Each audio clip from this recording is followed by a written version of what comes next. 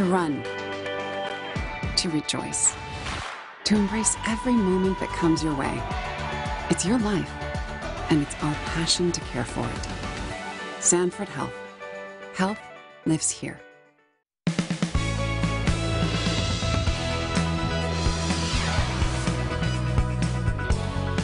President Trump makes history in his meeting this morning with North Korean leader Kim Jong un.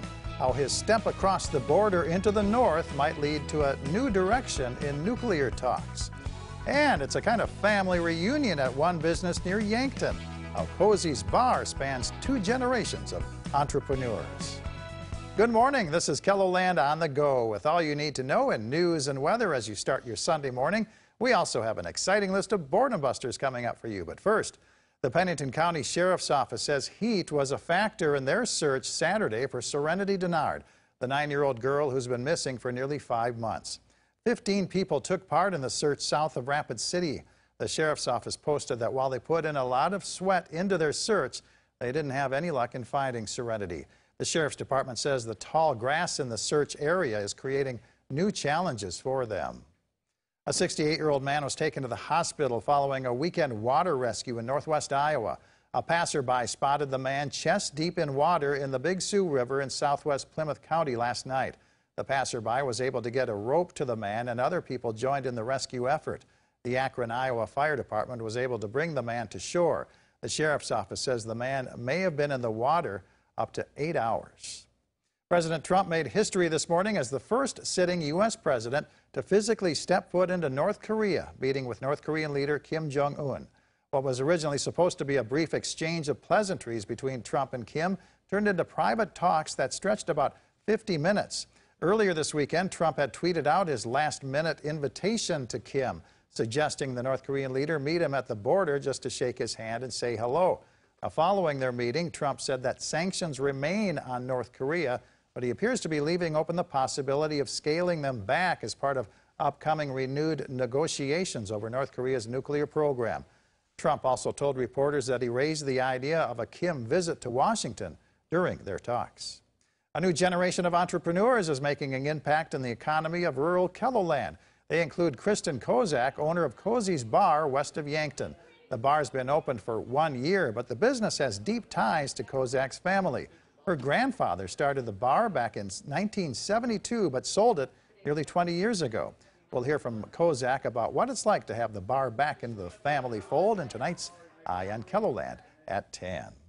Well, let's find out if we'll be getting any relief from our heat. Here's Chief Meteorologist Jay Trobec in the Storm Center. Good morning, Jay. Good morning, Perry. Not so much here in the southeastern part of KELOLAND. Sioux Falls is under a heat advisory again today, and so is the area in orange there. Until 9 o'clock tonight, it's going to be hot and humid. What's going to take the heat and humidity out of the air is thunderstorms, and so we'll have to keep an eye on the skies later today, mainly this evening and tonight. The area in yellow is where we have a slight risk of of severe weather, and that includes uh, the possibility of wind and hail. Pockets of heavy rainfall will also be possible. Of course, that risk does include the Sioux Falls area. The chances for rain will continue tonight and even tomorrow, the area in yellow again. A risk of some severe weather. It does include Sioux Falls and the I-29 corridor. Also, heavy rain will be possible. We'll have your forecast numbers in just a second, Perry. All right. Thank you, Jay. Well, the Sioux Falls Area Humane Society is hosting a kitty carnival with games, booths, music, and food from noon to 3. Admission is free, but you're asked to bring a bag of pet food or toys or make a money donation for the care of the shelter animals. The Humane Society is located at 3720 East Benson Road.